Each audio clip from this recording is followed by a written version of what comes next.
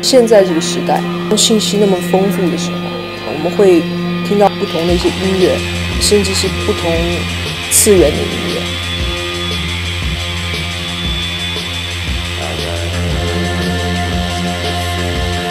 然后有不同的电影，甚至是宗教文化成长的环境背景。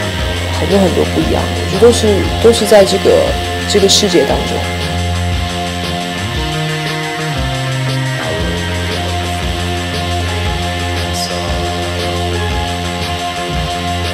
现在我们可以感知这些丰富的文化、多元的文化，是因为一种包容性。